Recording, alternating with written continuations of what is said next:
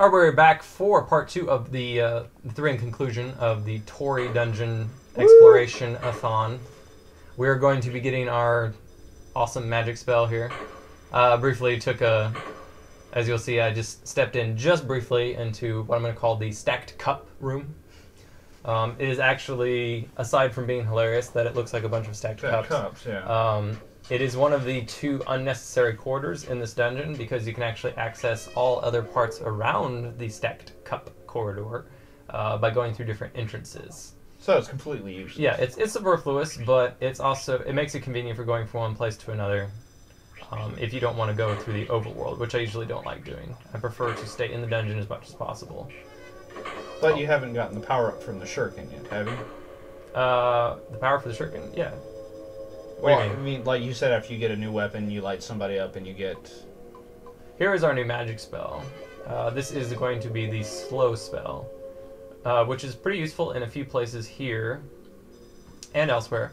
It uses up two magic points, so one big magic dot, uh, and it does exactly as advertised. It slows all of the enemies down to a crawl. Magic dot. Um, you have to kill all of these ghosts in order to get their token, and this is a perfect opportunity, opportunity if I can speak correctly, nope. to use thank you to use the slow spell. Um, you might ask yourself why am i not using it now?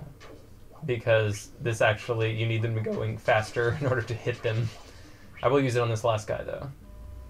Uh, make sure not to miss this jump because that's always frustrating. Well, at least it doesn't kill you. yeah it doesn't kill you. Later on in the game, they all kill you, don't they? uh, all the jumps Mm-hmm. well there's much much more frequent usage of spikes yes uh, this is another dungeon entrance uh, the lower right block can be pushed and you can climb up the mushroom and get out Ooh yeah, Ooh yeah. Uh, With the shuriken, these ghosts, the green ghosts, only take three hits, which is awesome. What did they take with the knife? Uh, this is sort of a, another trap that's teaching you something about the game. That's right, you can push blocks, multiple blocks at a time. Um, I will show you on the way uh, right here. Yes, you can push this block. That is a complete red herring. There's no use for that at all. Just to trick you to think that you can somehow push it around the corner, and you of course cannot. Uh, this is a slightly tricky jump, but it saves a lot of time getting out. You have to make sure you're right at the edge in order to clear the spike. So you just got really used to telling what pixel was the last one. Uh, yes, you can actually pretty much have half of Glendaal's shadow, which is a little, you know, little black spot above, below him. About half of that can be hanging off of the ledge, and you can still actually be on the ledge. So that's another good way to. Uh, there's the other side of the cup corridor, uh, just you know, showing you that it connects through. Uh, that's a good way, a good place to use the slow spell, as demonstrated. This is another good place because you have to kill two roaming uh, blue ghosts. So just you know, pop the spell, and then murder them, ninja style, Ninja murder. ninja murder. Most entertaining kind. The last token is going to be from clearing this room of knights. So if you're if you're following along, if you're playing if you are playing yourself and you're following along, this should be your last token. If not, then you missed something somewhere and God help you going back through the entire dungeon finding that last token. Which is what you probably had to do. Uh, yes. The later dungeons, it gets extremely aggravating because they're basically become more. Uh, the seventh dungeon, especially, becomes basically like a line. And if you get to the end of the line and you don't have everything, then you have to go all the way back to point A. End of the line. End of. Ah, ah. I will punch you in your burned skin. For those who can't see me at home, I am strawberry red, which is not a color an Irishman should be. Yes, he was. He he tried to fight the sun And I lost. and lost. Pretty Here badly. is the blue key that I mentioned in the first part. Um, this is the other side. Uh, you'll, if you'll, you'll recall that I found a red key on the other side. Thus, I can go through this red gate. Uh, the white gate there is actually completely superfluous because if you go all the way around, you can see there. I'm on the other side of it.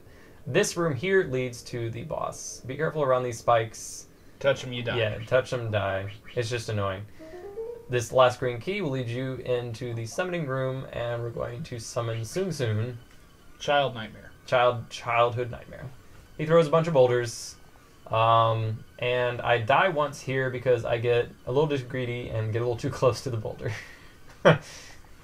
So basically, as long as you're patient, you can win yeah, as game. long as you're patient. Um, of course, the bosses get extremely frustrating because of the. Um, they start taking more and more hits to kill. It's still pretty, still pretty easy at this point. Uh, you can only hit him by jumping up, and at the apex of your jump, if you throw a uh, shuriken, it'll hit him and so his face. cause damage. Yeah, you have to hit him in the eyes. As I'm doing now, and I'm about. To, yeah, Yep, there it goes. that's I got a little too close to the. Uh... But that's okay. We get to hear the awesome music even more. This But- time there is grade A rape. So what I'm doing to the boss now is illegal. So that's I'm just Well, putting out there. in most countries. in most countries, yeah. I mean, you know, it depends on you know age limits and things like that. and yeah, And yeah, kind of creepy. Uh, I think we're just gonna. we're gonna stop talking. Yeah, new, new conversation. New conversation. So those boulders look like Pokemon. yeah, look kind. like Pokeballs. Um, I was just thinking like rolled up armadillo po- Pokemon. I'm sure those exist. yeah, I'm sure. I'm, I haven't followed Pokemon in a very long time, so I You don't. I don't know the new follow names. Pokemon. Oh yeah, when it, when it first came out, it was it was the thing thing to have. Uh, you'll notice there. Now this is kind of subtle, but you'll notice there as I walked past the uh, bulge as he was coming out, it sort of pushed my sprite to the side.